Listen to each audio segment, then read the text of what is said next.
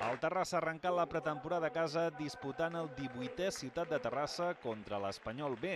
El filial blanquiblau s'ha emportat el trofeu a la tanda de penals després que el partit acabés amb empat a un al marcador.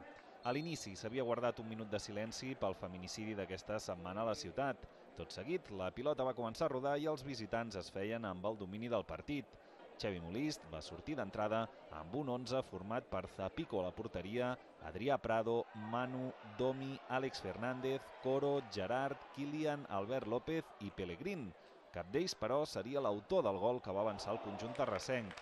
Jordi López, davanter actualment a prova, havia entrat a la mitja hora de joc substituint Kilian i a dos minuts de la mitja part enviava la pilota al fons de la xarxa.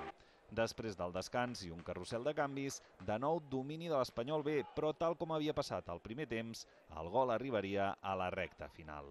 Al minut 85, penal de Joel a Max Marcet, que s'encarregaria de transformar Moja, obligant així a decidir el trofeu des dels 11 metres.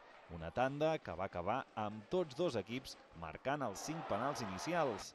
Al sisè torn, David López va fallar el seu, donant així la victòria al conjunt blanquiblau en un primer partit de pretemporada que va deixar bones sensacions als prop de 900 aficionats que es van acostar a l'Olímpic aprofitant que l'entrada era gratuïta.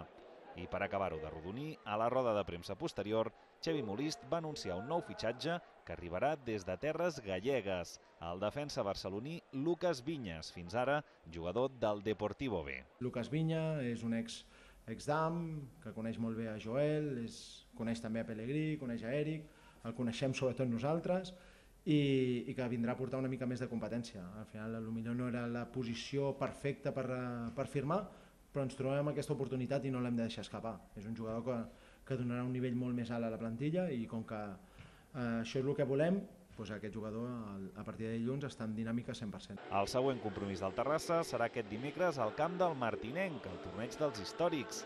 Els de Molist enfrontaran els Sants i l'Horta en format triangular.